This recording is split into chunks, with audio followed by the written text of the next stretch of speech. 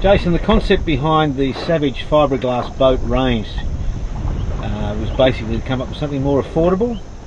Yeah, absolutely, we wanted to make boating more affordable. Obviously, that's that's you know, one of our biggest aims here at Savage Fiberglass Boats, and you know we pack all the features to, into all these boats. It, it's got the ride, it's got the soft touches, it's got the features, it's got the looks, and it comes with a uh, attractive price.